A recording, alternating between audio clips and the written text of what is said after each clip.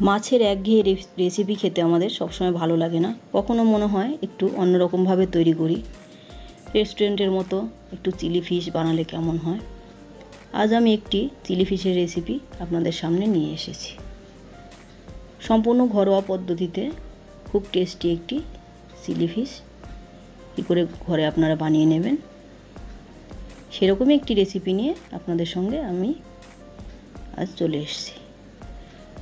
নমস্কার বন্ধুরা, শ্যামল ক্রিয়েশন আপনাদের সবাইকে স্বাগত জানাই। আশা করি আপনারা সবাই খুব ভালো আছেন।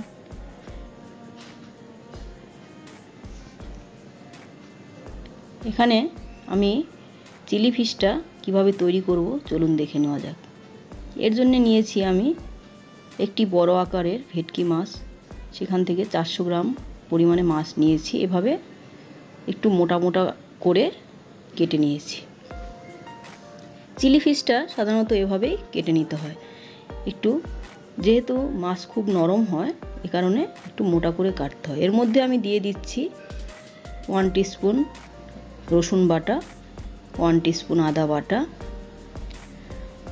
ওয়ান টিস্পুন গোলমরিচ গুঁড়ো, আর দিয়ে দিচ্ছি ওয়ান টিস্পুন কাঁচা লঙ্কা বাটা।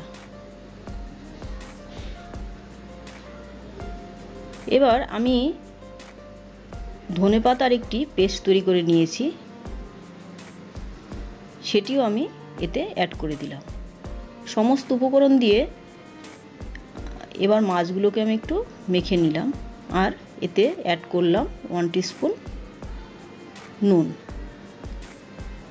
দিয়ে দিচ্ছি ওয়ান টিস্পুন পরিমাণ লেবুর রস। এই লেবুর রসটা কিন্তু অবশ্যই দিতে হবে। লেবুর রস না থাকলে আপনারা এতে ভিনেগার অ্যাড করতে পারেন। এবার খুব সুন্দর করে ভালোভাবে হাত দিয়ে এভাবে মশলাগুলোকে এর ভিতরে মিশিয়ে নিতে হবে। মাছকে আমরা যত সুন্দরভাবে ম্যারিনেট করে রাখব চিলি ফিশের টেস্টটা কিন্তু ততটাই বেড়ে যাবে। এখানে ম্যারিনেশনটা কিন্তু খুব ভালো করে করতে হবে। এভাবে ম্যারিনেট করে আমি দশ মিনিট মতো রেস্টে রেখে দিচ্ছি। মাছ খুব একটা ম্যারিনেট করার দরকার হয় না, মাছ যেহেতু একটু নরম। দশ মিনিট পর আমি এতে অ্যাড করে দিচ্ছি একটি গোটা ডিম।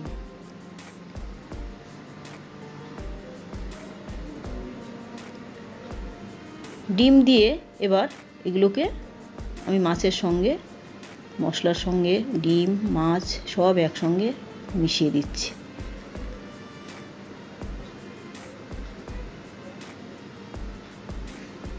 এভাবে ভালো করে মেশানোর পর এবার আমি এতে অ্যাড করব টু টেবিল স্পুন মতো ময়দা।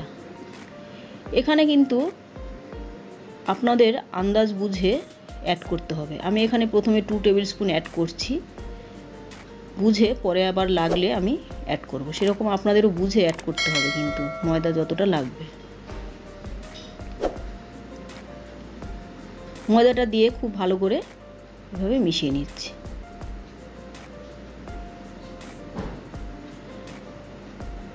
মিশিয়ে নেওয়ার পর আমার মনে হচ্ছে আর একটু ময়দা এতে লাগবে। আমি আরও হাফ টেবিল স্পুন মতো ময়দা এতে দিয়ে দিলাম। আপনারা ওইভাবে বুঝে নিয়ে ময়দাটা অ্যাড করবেন।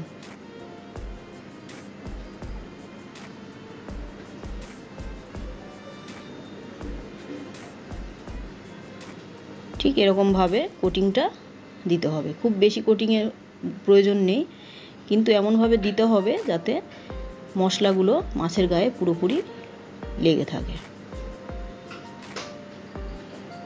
অপরদিকে আমি গ্রেভিতে যে জিনিসগুলো দেব, সেগুলো এখানে কেটে রেখেছি। তার জন্য নিয়েছি একটি মিডিয়াম সাইজের ক্যাপসিকাম, এভাবে টুকরো করে নিয়েছি। আর নিয়েছি কিছুটা পরিমাণে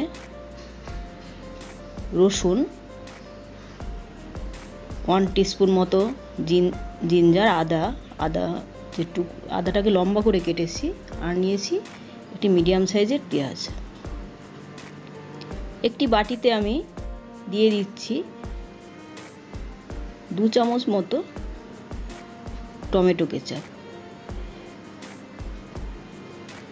আর এখানে অ্যাড দি অ্যাড করছি আমি one one tablespoon soya sauce এই সস দুটো আমি একসঙ্গে প্রথমে মিশিয়ে রেখে দিচ্ছি।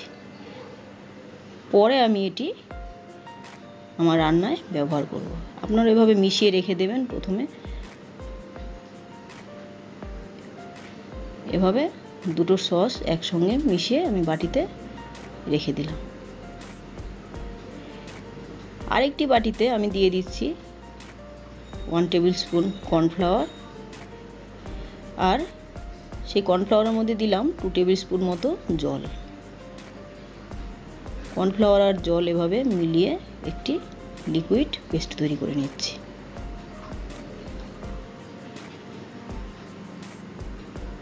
ঠিক এরকম একটি লিকুইড পেস্ট তৈরি হবে। এবার প্যানে আমি পাঁচ টেবিল স্পুন মতো তেল দিয়ে দিচ্ছি। এতে আমি মাছগুলোকে ভেজে নেব। এ কারণে তেলটা একটু বেশি পরিমাণেই দিচ্ছি। খুব ডিপ ফ্রাই করার প্রয়োজন নেই, একটি শ্যালো ফ্রাই হবে।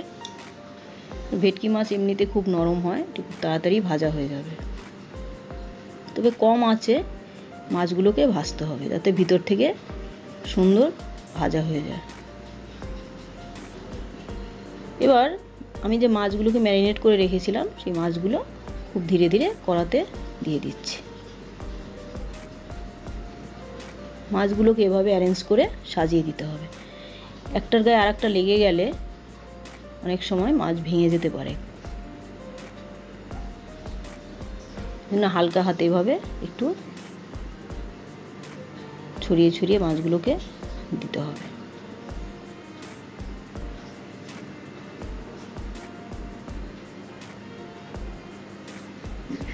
এভাবে কম আছে আমি সমস্ত মাছগুলোকেই কিন্তু ভেজে নেব। এক সাইড ভাজা হলে মিনিট খানেক ভাজার পর আমি কিন্তু অপর সাইডও সুন্দর করে ভেজে নেব। আর এই সময় লো মিডিয়াম হিটে গোল্ডেন ব্রাউন করে মাছগুলো ভেজে নিতে হবে। খুব বেশি ভাজার প্রয়োজন নেই, আবার একেবারে কম ভাজলেও কিন্তু এই রেসিপিটা ভালো হবে না।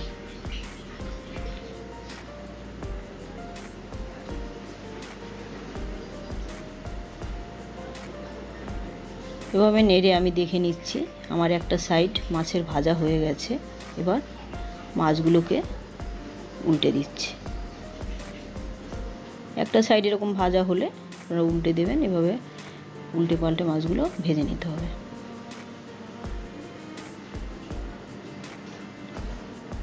দেখুন, মাছগুলো আমার ভাজা হয়ে গেছে। এগুলোকে আমি একটা প্লেটে তুলে রাখছি।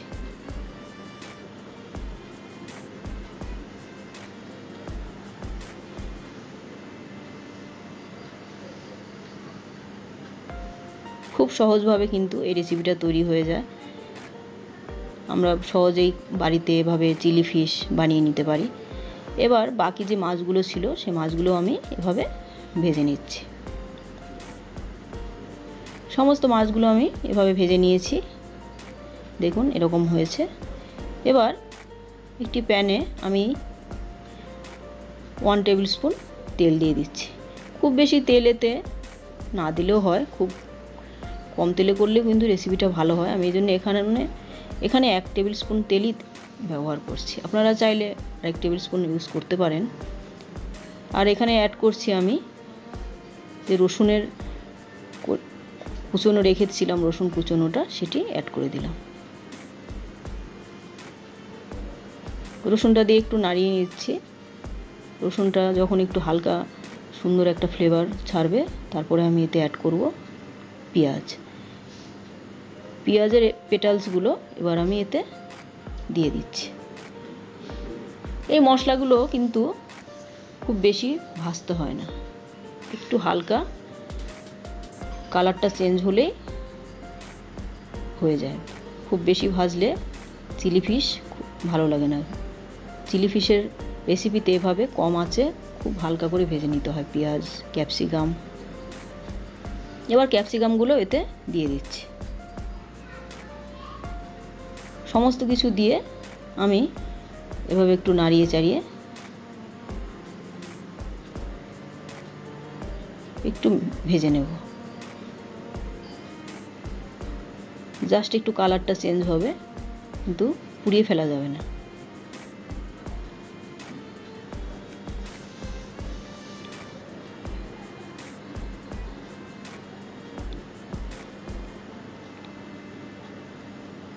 দেখুন, ঠিক এরকমভাবে এগুলো ভেজে নিতে হবে। আমার কিন্তু পেঁয়াজ, ক্যাপসিকাম ভাজা হয়ে গেছে, আর বেশি ভাজতে হবে না এগুলো।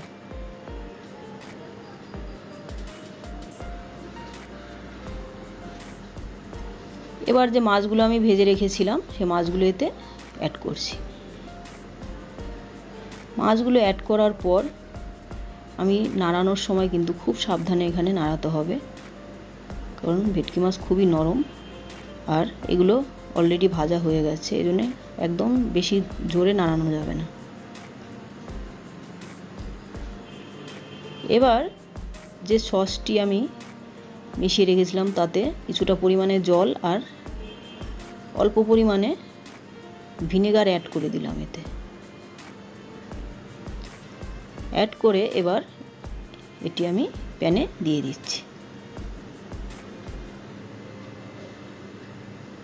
এখানে আমি ওয়ান টিস্পুন মতো ভিনেগার অ্যাড করেছি।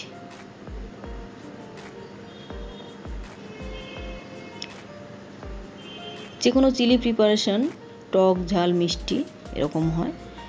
আপনারা যদি আরও স্পাইসি খেতে চান, তাহলে আরও বেশি করে সস এখানে ব্যবহার করতে পারেন। আমি একটু কম পরিমাণেই সসটা ব্যবহার করেছি। আপনারা আপনাদের পছন্দ অনুযায়ী সসটা ব্যবহার করবেন। সসটা দেবার পর এভাবে হালকা হাতে একটু এপিটোপিট করে নেড়ে দিতে হবে।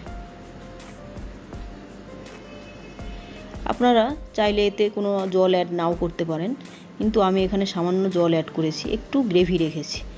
এবার এতে দিয়ে দিচ্ছি ওয়ান টিস্পুন মতো লাল লঙ্কা গুঁড়ো।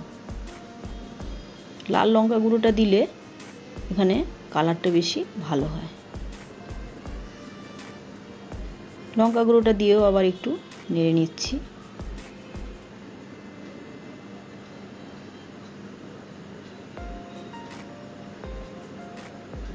দেখুন, সমস্ত কিছু এভাবে সস এবং মশলা সব মিশে গেছে। এবার যে কর্নফ্লাওয়ারটা আমি গুলে রেখেছিলাম জলে, সেটি অ্যাড করে দিলাম। অ্যাড করে সামান্য পরিমাণে জল দিলাম। আমি এতে আরও কিছুটা জল ইউজ করব, কারণ আমি এতে একটুখানি গ্রেভি রেখেছি। আপনারা এই অবস্থায় যদি আর জল অ্যাড করতে না চান, তাহলে কিছুটা সময়ের জন্য ঢাকা দিয়ে এভাবে শুকনো শুকনো রাখতে পারেন। তাতে একটু বেশি পরিমাণে সস দিতে পারেন।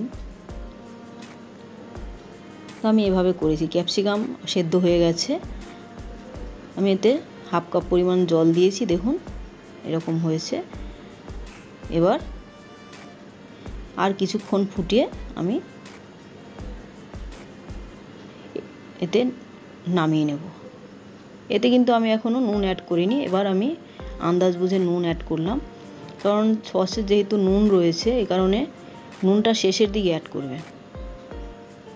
একটু টেস্ট করে দেখে নিয়ে অ্যাড করবেন। আর দিয়ে দিচ্ছি হাফ টিস্পুন গোলমরিচ গুঁড়ো। আবারও বলছি ঝালটা আপনারা আপনাদের আন্দাজ মতো দেবেন।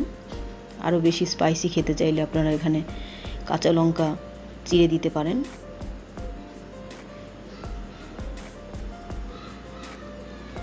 এবারে হাফ মিনিটের মতো আরও ফুটিয়ে আমি এটা নামিয়ে নেব।